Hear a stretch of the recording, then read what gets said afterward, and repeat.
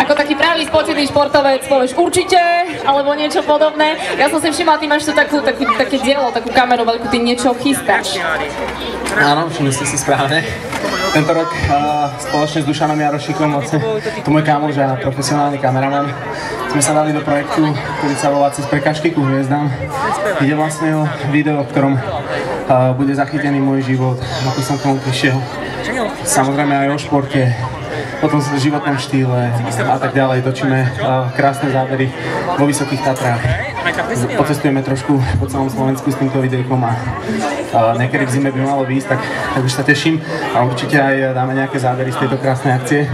Samozrejme všetkým ďakujem za potlesky, dobrovoľníkom, že si láhli, že mi dôverovali a Ty tam skoro zničil publikum. ďakujem ešte raz, tak veľké díky!